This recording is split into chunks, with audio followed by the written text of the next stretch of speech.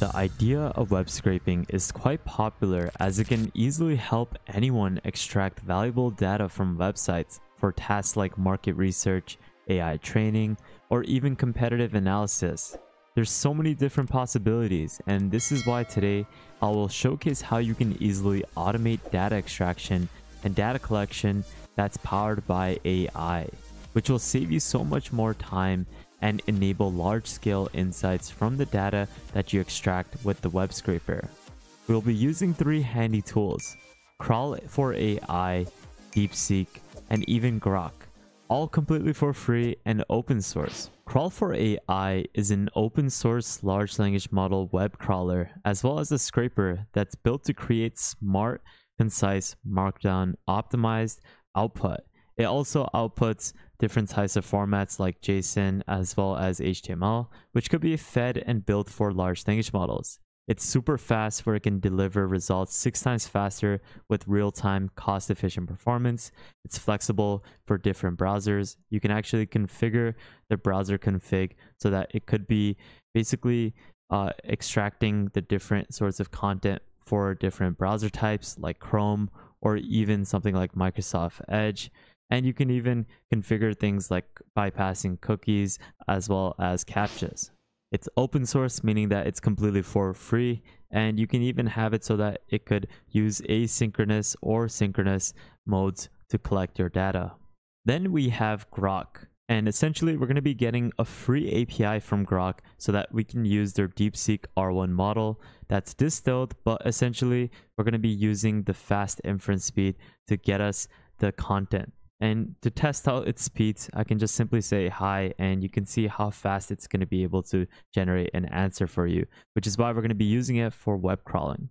And then lastly, we're going to be using the DeepSeek R1 model, which is a new open source reasoning focused large language model. And it's something that is basically on par in terms of achieving performance that's comparable to OpenAI's O1 model where it can even outpace GPT-4 Omni in almost every benchmark as well as Claude 3.5 Sonnet. And essentially, by combining all three of these tools, we're going to be able to efficiently and effectively web scrape anything. Now, to make this all make sense, imagine this scenario where you just started a marketing agency. And obviously, to get more clients, you're going to need to find more leads. Now, to find more leads, you would obviously want to have a list of multiple different companies to reach out to. But how would you even strategically do this? You would need to have a specific niche to target and you would want to have a scraper to find multiple leads rather than you going on Google and finding different businesses. And that's essentially what we're going to be doing with this case scenario where we're going to go ahead over to OpenCare, which is just an example list of different dentistries that are available in New York City. And essentially, you can see that there's so many different dentistries that you can reach out to. But to manually reach out to all of these different dentistries, it's going to be pretty hard. So we're going to have the web scraper go ahead and collect the address, dentistry, and how we can reach out to them. And then what you can do is go over to something like spreadsheets and you can go ahead and import the data that you had extracted from the website and you can go ahead and upload that data. So now that I have imported the data, you can then also go ahead and click on format and then you can convert the table to this structured data. So essentially you can see that I was able to get the different clinics around five of them. I got the addresses, the ratings, as well as the descriptions all thanks to the web scraping. And this is what I'm going to be teaching you throughout today's video. So let's get started now. I'm going to leave the source code in the description below on my website and you can go over to this link and you can simply go ahead and click on find source code here which will take you to this github repository before we even get to this, we need to make sure we fulfill the prerequisites. First things first, you need to make sure that you have Python installed as your programming language. You're going to need to have Git installed to clone the repository, Conda to activate the virtual environment, as well as pip. And once you have these prerequisites fulfilled, we can then get started. Head over to the repository that I had linked within my website. Go ahead to the top, click on this green button, and copy this link to your clipboard. And what I want you guys to do is head over to your command prompt and type in git clone and then paste in the link and click enter. This will clone the source code. And once you have typed in cd and the name of this web crawler, We're going to then go ahead and we're going to start off by creating and as well as activating our environment. So we're going to go ahead and use Conda to create this web environment. Once that is done, we're going to go ahead and activate that Conda environment. So once this is done, I can go ahead and then activate it. And once it has finished activating, we're going to go ahead and install the dependencies with the pip install command. Next up, you'll need a code editor. In my opinion, I'm going to be using Visual Studio Code because it's going to be the best for this particular use case because you're going to be needing to create your environment variable file. So once it has created and installed all the different uh, requirements, we can then open up the folder that we just cloned, the DeepSeek AI web crawler. To do so, just click on File, click on Open Folder, and just simply go ahead and find where you had cloned it. In my case, I had it within this file. So I opened it up. I went over to the environment variable file. I'm going to go ahead and right click on this, click on rename, take out the dot example. And once that is done, we're going to go ahead and paste in our Groq API. So to get this, you can head over to GroqCloud. Once you have created an account completely for free, head over to API settings or the API keys section and click on create API key. So I'm going to go ahead and create one and then we're going to go ahead and paste it into our, our environment variable file. So we can go ahead and paste this in. Once that is done, click on file and just simply click on save. Now let me just showcase how you can easily get started. Now what you want to do is first create your own crawler with the generator. This is a generator that won't require any sort of code you can simply go ahead and run this so that you can work alongside the generator to build out any sort of config file. So you can see that if you send this in, obviously you're not going to be able to see the emojis because we're on the command prompt. You can have a better view of it if you are on VS Code. In this case, you can provide any sort of configuration name. I can say YouTube title, and then you can go ahead and provide a target URL and once you have provided that, you need to then provide the CSS selector for items, which is pretty important. And I actually have a guide within the repository to explore this. And if you need more help, you can obviously watch more YouTube videos online, which showcase how you can find the SSS or CSS selector. But then you would need to define the fields for extracting each item, like the title, the price, the views, or whatnot. And then once you have provided something, let's just say price. We're going to then go ahead and add additional optional fields if you want. Uh, but if not, you can then go ahead and then add other sorts of settings for the crawler like multi-page crawling or you can have it so that there are a certain amount of pages. You can configure all of these settings further. I know I restricted it to only five, but you can go further into the settings and add further details. You can add a headless mode. You can also add logging and you can even provide further LM configuration where you can add custom instructions. And once that is done, you can see that this is now saved within your config file. So you'll see that this is the configuration that you can use to run your crawler. And then it will showcase how you can run this by going ahead and running the Python config file plus the name of what you set it before. So which was YouTube, I believe. And then you can then run this and then it will go ahead and scrape that based off of the configurations you'd set with the generator.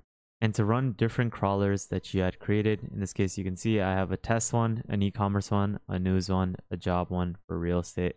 You can then go ahead and then run the python main.py dash dash config and the name of the crawler you created. So let's actually go ahead and run this so you get a better idea. But let's go over to our terminal and then we can go ahead and paste this in and then it will ask you to enter the website URL. So let's go ahead and paste in something. So there we go. I have now pasted in this link. We're going to click enter. Enter the CSS selector for items. But this is just a generator that can easily set this up without any sort of code. So it saves you a lot of time. And this was something that I wanted to do because I know no one else teaches anyone how to set this up. So for beginners, it's easy for you to set this all up. Then after, it will ask you crawler settings. So you can enable multi-page scraping so that it can access multiple pages. And then you can also run the browser in a headless mode. So you can have this as no if you want to visualize what's happening. And then you can also have it so that it details the logs. So I click yes for that. And then you can customize how the AI extracts information from the website. Enter specific instructions such as extracting phone numbers in this format. And in our case, we're just going to go ahead and have it extract uh, mainly the description because that's something that I want to figure out as well as the email address. And then you can go ahead and click enter twice and then enter the name for the configuration. So we can go ahead and just name this dental and then say click, we can go ahead and click enter and you can see that it has now created the config file. And we can go ahead and then run this file afterwards. So now you can see that my dental configuration over here is set now after creating it with the create config file. And you can see that it's going to be able to extract certain things like the title, description, uh, the rating, as well as the location. And this was all created by the config generator. And if I want now, I can go over to the terminal, click on new terminal, and then I can go ahead and run this Python script. And there you go. You have this uh, Python script now running and it's going to extract. And once it's finished, I'll be right back. So it has now saved it as a CSV file. And you can now see that the five contents for different clinics have been saved the address, ratings, as well as the description of the clinic.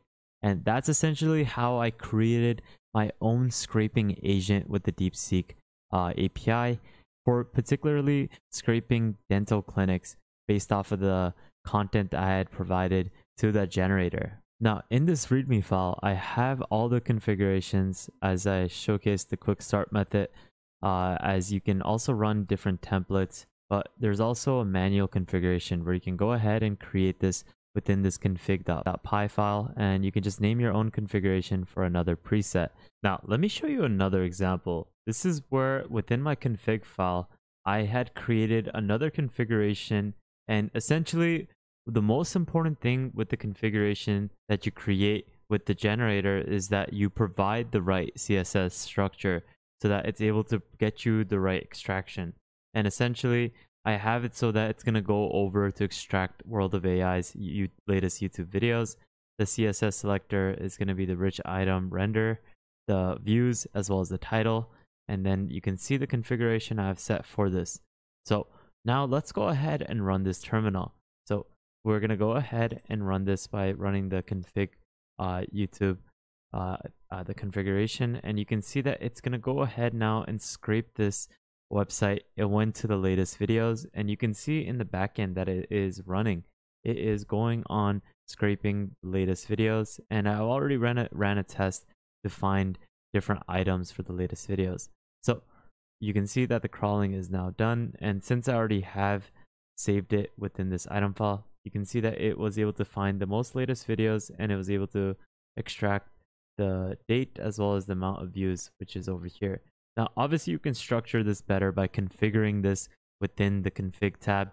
It's all about you learning how to configure. And one really helpful tip if you do not know how to code is use something like Roo Code. I believe this is where you can ask it questions. So if you have any sort of error with something not working, you can go ahead and ask Roo Code. Uh, my crawler isn't actually functioning as it should be. Can you please assist me on what I can do to fix it? But essentially, you shouldn't run into any problems as long as you set the right SSS selector. And I actually have a full-on guide within my repository which explains almost everything. So if you're interested, definitely take a look at this and I'll leave a link to this in the description below so that you can easily get started. Lastly, within the config file, you can see all the different configurations I've had for different crawlers. But say for this YouTube one, I want to have it so that it is going to extract it through multiple pages. You can have it so that this is set to true. And then you can also set different instructions like output as a different format. And this crawler will be able to output it based off of that. And like I said before, make sure you use something like Cline or Roo Code to help you if you're facing any sort of issues. And that's basically it for today's video, guys. Make sure you take a look at the source code with the link in the description below to my website so that you can access this. I'll leave all these links in the description below as well. Follow me on the Patreon so that you can stay up to date with the latest AI news, as well as my Twitter. And lastly, make sure you guys subscribe, turn on the notification bell, like this video, and please take a look at our previous videos because there's a lot of content that you will truly benefit from. But with that thought, guys, have an amazing day, spread positivity, and I'll see you guys fairly shortly. Peace out, fellas.